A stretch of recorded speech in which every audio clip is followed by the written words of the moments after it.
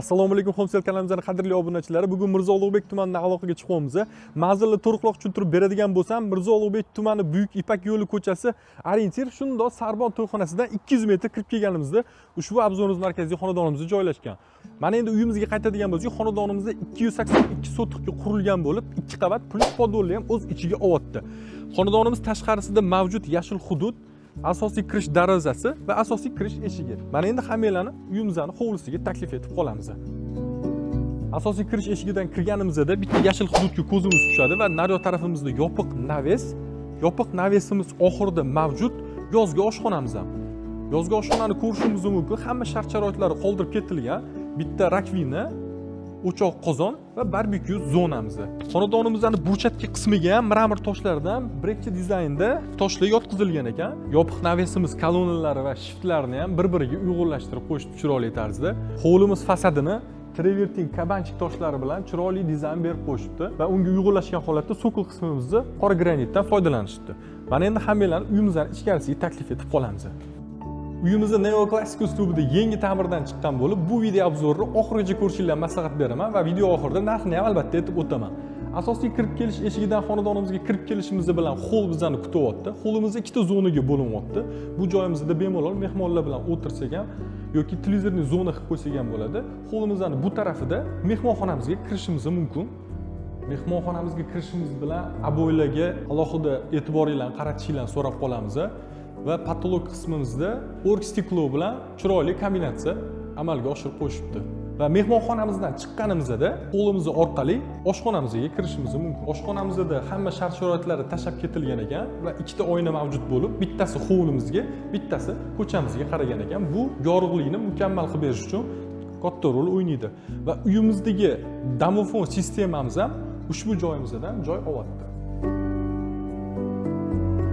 Va birinchi qavatimiz uchun oxirgi xonamiz ota onalar uchun mo'ljallangan yotoqxonamiz bu uyimizdagi yoshi katta otaxon onaxonlarimiz uchun ancha qulaylik yaratadi ya'ni birinchi qavatda joylashganligi. Va birinchi qavatimiz uchun hojatxonamiz shu burchagimizdan joy olyapti yerto'la qismiga uyimizni ichkarisidan ham va tashqari hovlimizdan ham kirsak bo'ladi va bu joyimizda havo aylanib turishi uchun orqa hovli ham kichkina bo'lsa ham qoldirib ketilgan ekan. Bu chiroyli yechim. Bizda bo'lsa ikkinchi qavatga bemalol ko'tarilaveramiz uyimizda poldan isitish sistemasiga asoslanganligi uchun ancha issiq. Ikkinchi qavatga ko'tarilishimiz bilan bitta shunaqa hovlimiz hovlimiz oxirida balkonga olib chiquvchi eshigimiz bizni bu tarafdan obzorimizni davom ettiramiz. Ikkinchi qavatimiz uchun bolalar uchun mo'ljallangan yotoqxona o'g'il bolalar uchun va buni yonida qiz bolalar uchun mo'ljallangan yotoqxona. Ikkinchi qavatimiz uchun mo'ljallangan umumiy yuvinish xonasi. Uyimizni ikkinchi qavatida ofis uchun mo'ljallangan alohida xona ham mavjud. Ikkinchi qavatimiz uchun oxirgi xonamiz ota onalar uchun mo'ljallangan yana bitta yotoqxonamiz va bu xonamizda garderob uchun mo'ljallangan alohida kichkinagina xonamiz va albatta o'zini ichki sanuzeli mavjud. Xonadonimiz yerto'lasida bizani ancha muncha qulayliklar kutyapti.